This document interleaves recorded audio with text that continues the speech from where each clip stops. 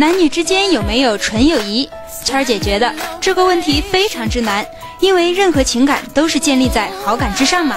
前段时间何炅和赵丽颖在节目中大玩亲嘴引起热议之后，曝光的何炅妻子却不是赵丽颖。另外，赵丽颖之外，何炅还有两大闺蜜呢，其一是合作了十年的李湘，其二是在节目上互相调戏的谢娜。林心如和苏有朋。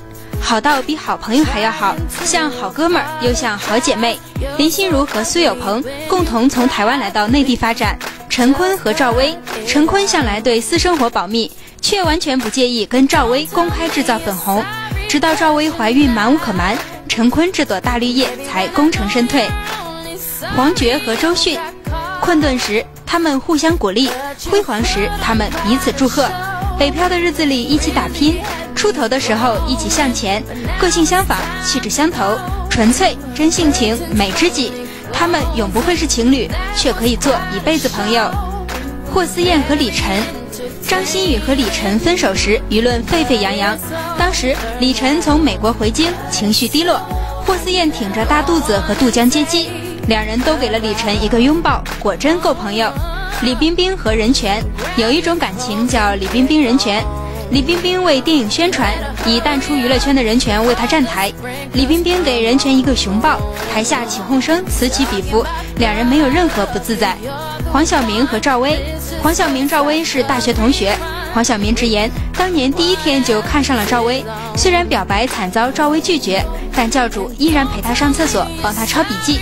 虽然他们没成为恋人，却成为彼此心中最重要的人。大鹏和柳岩，有大鹏的地方就有柳岩。俩人有过绯闻的牵绊，但依然坦然地站在观众面前，用行动告诉大家，世上有个词叫男闺蜜、女知己。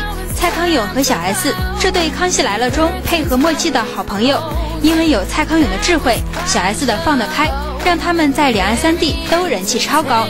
张学友和梅艳芳，张学友和梅艳芳对好友在多年的演艺道路上一直相互扶持、相互照顾。周星驰和张柏芝。张柏芝是周星驰一手捧红的，二人也曾传过绯闻，但事实上二人是非常纯洁的男女关系。张国荣和梅艳芳，张国荣的温柔和梅艳芳的豪爽，让他们在多年合作中成了最知己的朋友。胡军和刘嘉玲，可能刘嘉玲魅力太大，和她接触的异性多半都能成为好朋友，因此刘嘉玲和很多异性朋友都闹出了绯闻。而在刘嘉玲众多绯闻男友中，有妻有女的胡军是最冤枉的。周华健和梁静茹，周华健和师妹梁静茹是一种亦师亦友的关系。梁静茹演唱会，周华健多次捧场，在周华健演唱会上也经常看到梁静茹的身影。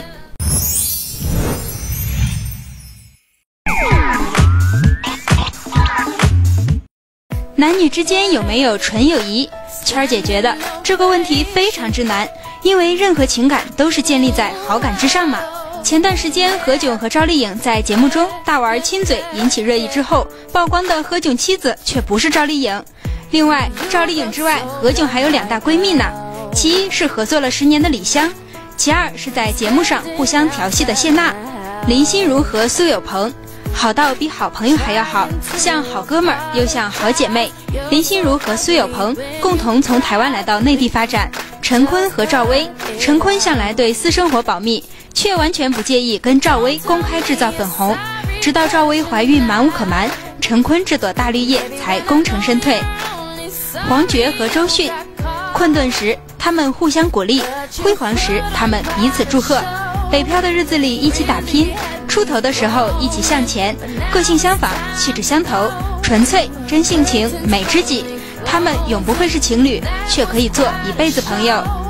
霍思燕和李晨，张馨予和李晨分手时，舆论沸沸扬扬。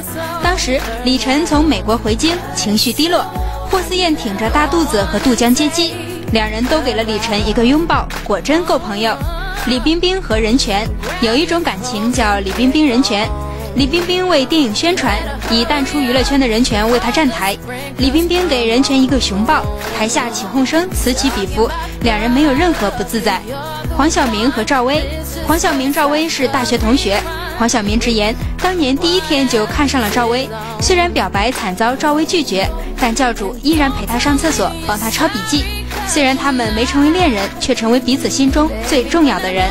大鹏和柳岩，有大鹏的地方就有柳岩。俩人有过绯闻的牵绊，但依然坦然地站在观众面前，用行动告诉大家：世上有个词叫男闺蜜、女知己。蔡康永和小 S 这对《康熙来了》中配合默契的好朋友，因为有蔡康永的智慧，小 S 的放得开，让他们在两岸三地都人气超高。张学友和梅艳芳，张学友和梅艳芳对好友在多年的演艺道路上一直相互扶持、相互照顾。周星驰和张柏芝。张柏芝是周星驰一手捧红的，二人也曾传过绯闻，但事实上二人是非常纯洁的男女关系。张国荣和梅艳芳，张国荣的温柔和梅艳芳的豪爽，让他们在多年合作中成了最知己的朋友。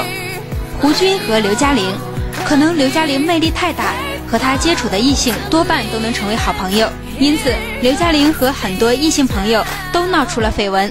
而在刘嘉玲众多绯闻男友中，有妻有女的胡军是最冤枉的。周华健和梁静茹，周华健和师妹梁静茹是一种亦师亦友的关系。梁静茹演唱会，周华健多次捧场，在周华健演唱会上也经常看到梁静茹的身影。